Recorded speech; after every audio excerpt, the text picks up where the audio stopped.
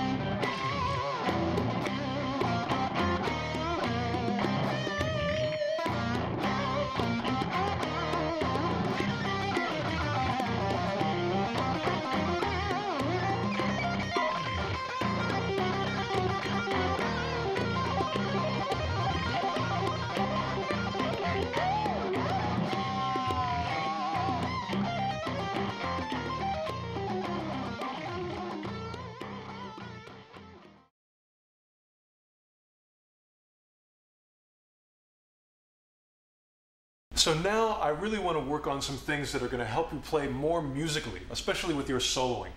Uh, one thing that really helps guitar players play musically is phrasing. Um, you don't need a lot of technique or notes to phrase well.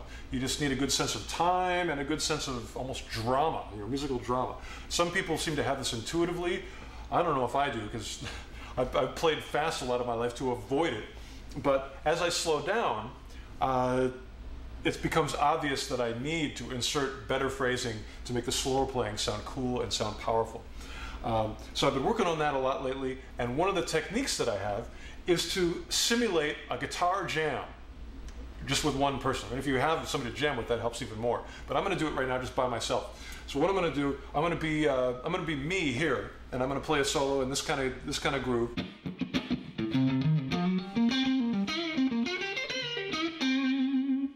I'll go over here. I'm in C minor, by the way. And this will be the other guitar player answering back.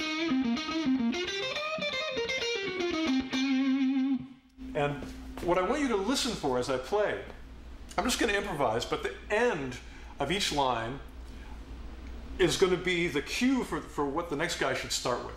So in other words, my ending is his beginning. And let me try to demonstrate that now with uh, going back and forth. And again, make sure you listen with your ears to the ending of the line and the beginning of the line, because they're either going to be the same or very close to one another. So here we go. One, two, in C minor. One, two, three, four.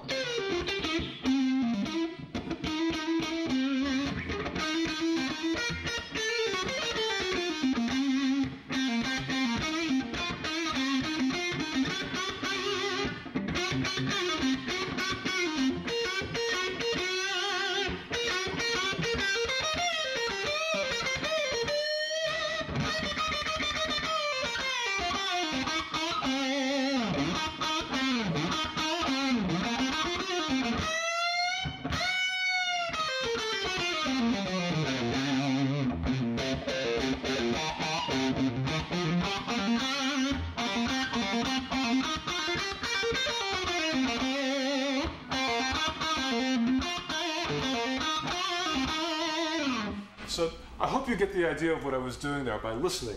Um, now, of course, if you're playing with another guitar player or really any other musician, that's that really takes the load off your brain because instead of sitting there waiting for them to finish, thinking through your whole vocabulary of what, what am I going to play next, what am I going to play next, you can relax, you can listen to them, and whatever they play last, just play that and, you know, to start off, and, and it makes almost more of a it makes a conversation more than a battle.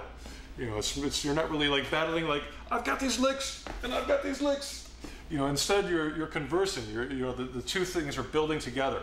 And it really feels good. So please try that with another guitar player, or if you can't find anybody, you can even do it with yourself, and it will help your solos really connect, stay together, feel good, and phrase better.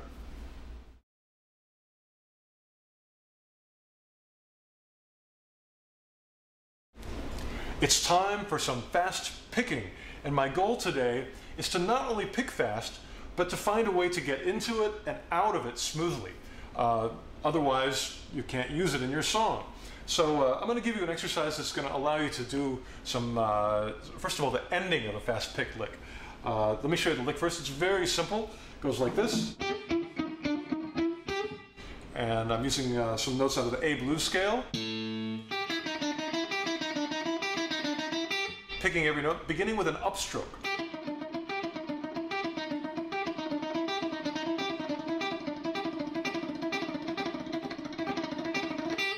Now, once we get locked into this, this lick, we got to find a way to get out of it. So what I want to do, I want to do it maybe many times. That's I think three times, and then the last one leads to a bend. That's the way we can get out.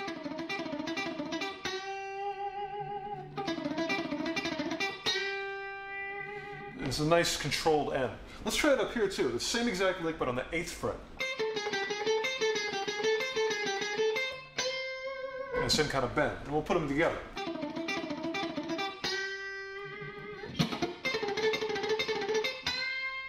And let's add one more up here on the 12th fret. This one isn't chromatic. More like a natural minor sound. I'm going to end that with a bend as well. So let's put all those three together and you know, I'll, I'll, count it off and try to hear how they're in time with, uh, and I can escape from each one. So one, two,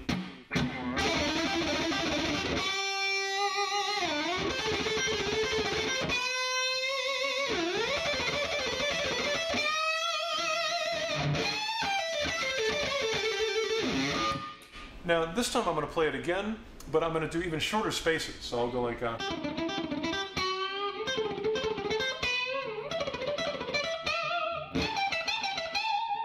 like that to end it. So let's try that. Uh, I'll do it a little slower.